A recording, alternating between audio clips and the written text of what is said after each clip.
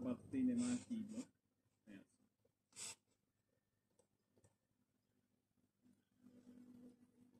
Dáme. Sežere to všechno ty? Jo, ty to byl top kek.